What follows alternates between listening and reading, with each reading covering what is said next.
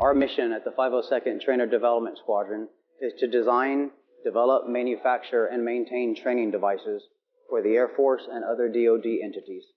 So as a program manager, we have the opportunity to work with customers in training and operational commands uh, to hear their training needs, uh, capture what their training deficiencies may be, and coming back with our team, collaborating together to deliver and create a unique trainer solution.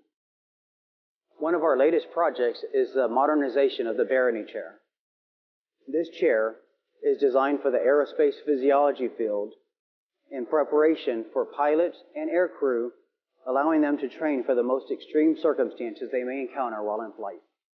So 19th Air Force reached out to the 502nd TDS um, about this requirement to upgrade the, the Barany chair.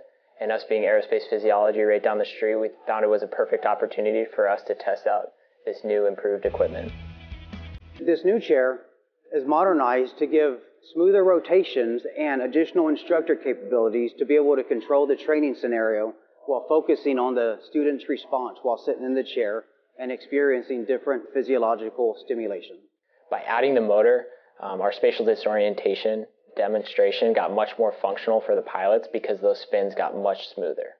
The 502nd TDS has absolutely improved our training devices, and the improvement of those training devices has had a direct mission success for the training pipelines we associate with.